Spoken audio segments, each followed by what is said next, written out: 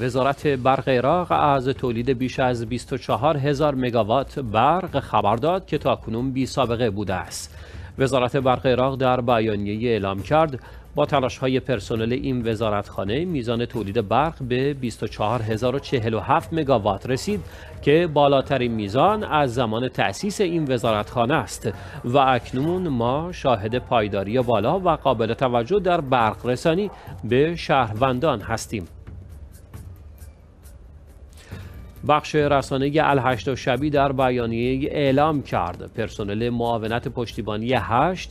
با همکاری شهرداری شهر مقدس کربلا بیش از 86 هزار تن زباله را به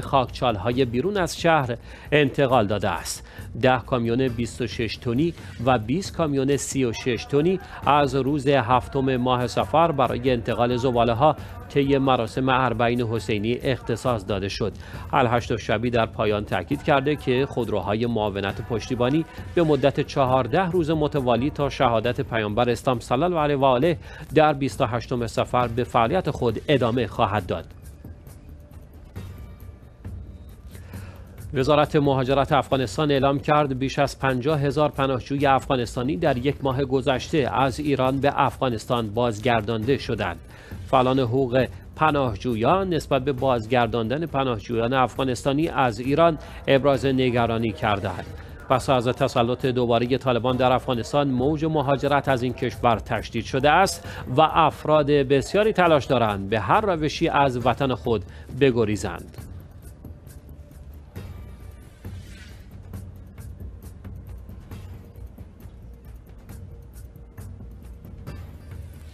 آستان مقدس علوی در نجف اشرف اعلام کرد. صحنه حضرت زهرا سلام الله علیها که از اوایل ماه سفر برای خدمت دهی به زائران اربعینی به صورت موقت باز شده بوده تا ساعت 14 روز دوشنبه 22 ماه سفر به خدمت رسانی ادامه خواهد داد طبق اعلام این آستان مقدس پس از این زائران در این صحن پذیرش نخواهند شد آستان مقدس علوی از اول سفر صحن حضرت زهرا سلام الله علیها را در اختیار زوار اربعین جهت استراحت و خواب قرار داد و در این مدت نیز زائران توسط آشپزخانه مهمانسرای حضرت نیز پذیرایی می شدند.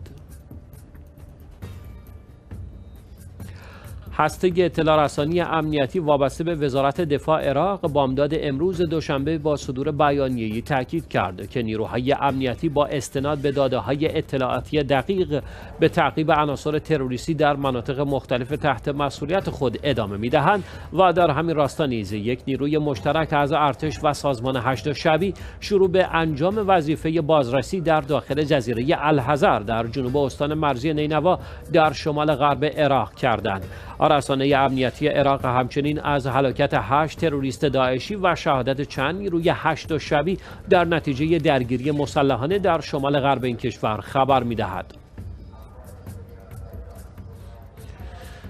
اسام شرف الدین وزیر مهاجرت و امور پناهندگان در دولت لبنان درباره طرح بازگشت آوارگان سوری که مرحله اول آن طی چند روز آینده اجرا می شود گفت من و کارکنانم آماده همکاری با اداره کل امنیت عمومی برای بازگرداندن آوارگان سوری به کشورشان هستیم به افزود بازگشت این آوارگان ابتدا به صورت داوطلبانه و سپس از طریق سازمان های بین المللی صورت می گیرد.